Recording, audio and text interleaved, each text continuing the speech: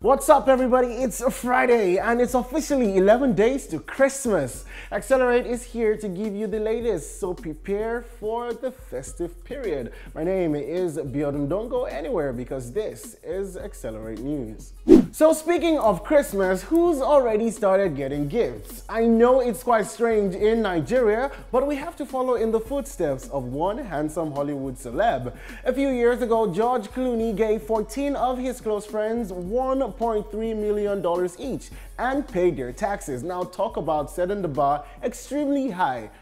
I need friends like that in my life. Like, just say, oh, yo, B, let me send you some money, just like clear your bills and shit. if you get a few million naira for Christmas that you are not really using, you know, send it our way. Let's help you save for tomorrow. The Burna Boy concert scheduled for Sunday the 17th of December has been postponed. The reason?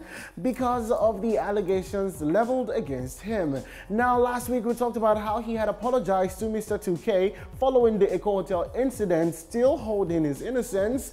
A press statement has been released that Burna Boy and his management are working to clear his name.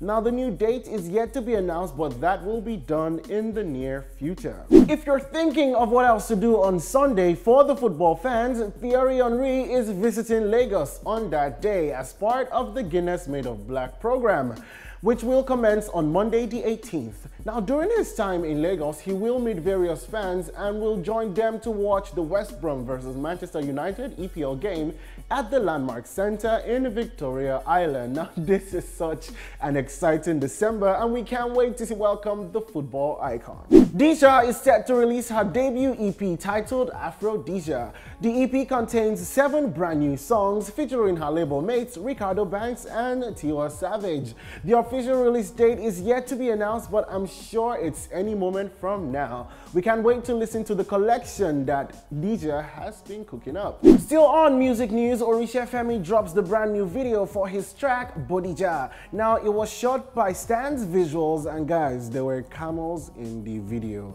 I don't know how they got camels to Agege or God knows how they made it work. Now, if that doesn't get you pumped to go watch the video, make sure you go check it out and let's know what your thoughts are. 9ice releases his third video in the same week. I mean, this guy is out competing everyone and is seriously seeking some music attention. Talk about ending the year with a big bang. The video was released for his song Pabanbari directed by Clarence Peters.